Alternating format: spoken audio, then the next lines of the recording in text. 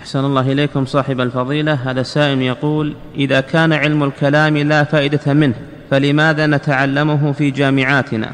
نتعلمه في جامعاتنا إن كان أنه موجود. أنا في وقت دراستي وقت المشايخ.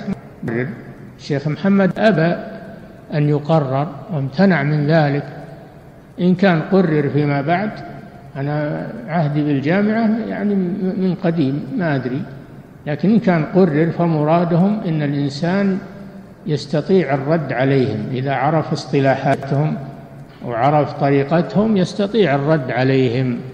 مثل ما له الإسلام رد عليهم لأنه هضم هذه العلوم ودرسها استطاع الرد عليهم فيكون مقصدهم حسنا إن شاء الله.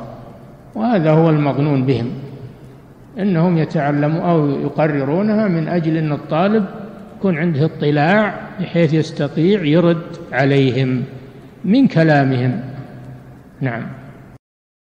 إعداد مشروع كبار العلماء بالكويت أعزها الله بالتوحيد والسنة.